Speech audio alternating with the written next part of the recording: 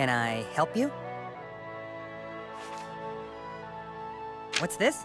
Oh, the elves took the stick again? Hang on a second. Thank you for thy message, traveler. I shall make haste to Kupa Keep. Mom, can you drive me to Eric's house?